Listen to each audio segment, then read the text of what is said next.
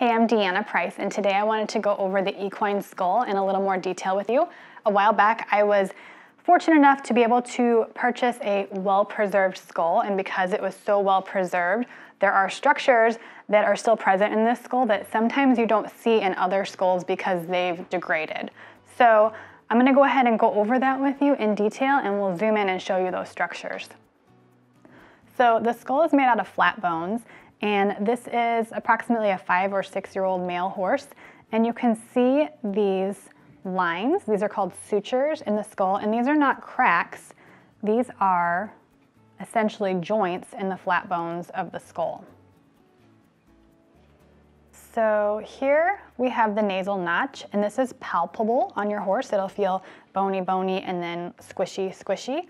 And when you're placing your nose band on your horse, you wanna try to avoid being over this squishy area because just like if you close off the top part of your nostril, it will restrict your air intake a bit. The same thing for your horse if you put a nose band down here and it's tight. So you wanna try to be above that nasal notch, but then avoiding this facial crest and if you avoid, if you go about halfway between the facial crest and this nasal notch, then you'll also avoid this foramen where a lot of nerves branch off your horse's face. All right, and then next we're gonna look at the TMJ joint. This is a very critical joint in your horse's body. This is how they chew. Actually, the bottom jaw would be moving, but it's on the table.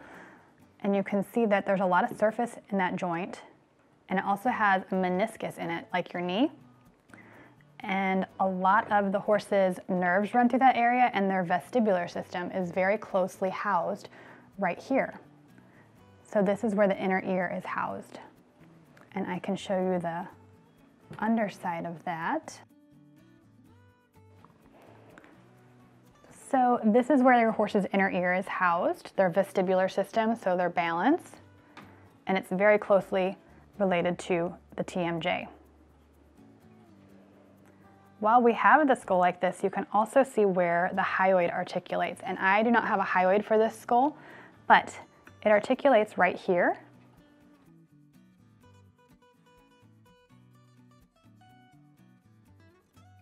And, and the same point on the other side. And there's a green dot on that side as well.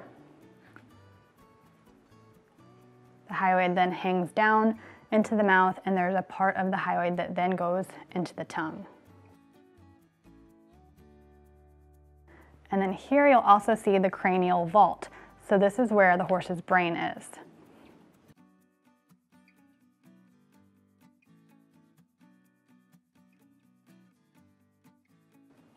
And this is where your spinal cord comes out. You can see the roof of the horse's mouth is still present in this skull, which is sometimes lost when they break down. And you can see how nicely this horse's teeth were maintained.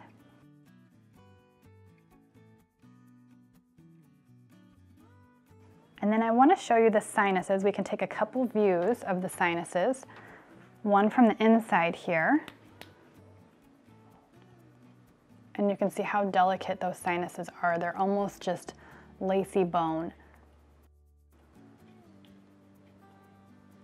And then there's a better view of the sinuses when you look from the nasal bone and where the nostrils would be, and you can see up inside how delicate those structures are.